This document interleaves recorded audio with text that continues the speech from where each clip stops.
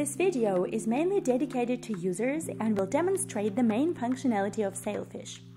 Here we will explain how to set up an environment, how to execute a test script using Sailfish, and to check its outcome report. You will also see how to check the messages stored by Sailfish. First, go to the Environment tab and add a new service by selecting a service type and specifying a service name. If there's a need to verify the same business scenario on another system, it's not necessary to rebuild your test script. You can simply change the connection to the environment and run the existing script without any modifications. You will also need to specify the service parameters. There are required and optional parameters. Once the environment is configured, you can start a connection by pressing Start. After setup is done, navigate to the test scripts page for uploading and running your test script. A test script is a test scenario in human-readable CSV or XLS format, which is usually generated manually by test analysts but can also be created automatically.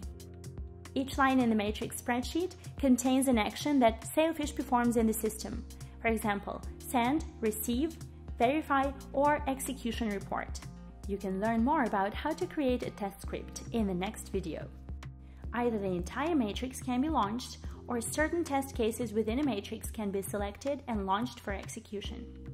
Test scripts can be executed in any order. Once the run is complete, the outcome report can be obtained. Each Sailfish test script executed automatically or manually will result in the outcome report. Reports are automatically stored in the Sailfish repository and can be downloaded at any time. A test execution report shows the parameters input by the user and reflects the difference between the expected behavior and the actual outcome in the comparison tables.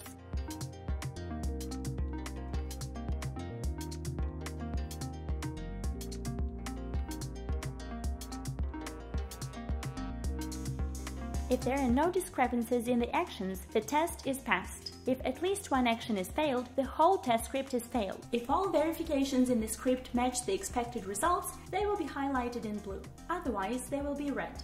In the first test case, orders have been sent and execution reports successfully received.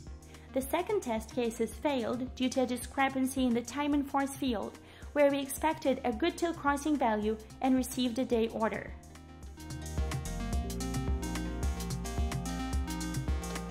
To see all the messages captured by Sailfish, scroll down to the All Messages table. Here you can look for a particular message by specifying the search criteria.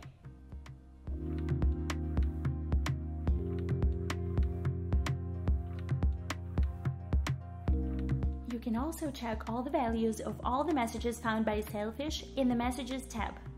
This allows the user to interact with the messages table in the Sailfish database. The table is used for storing messages from all services in real time. To see the captured messages, you can query them by using SQL or Wizard.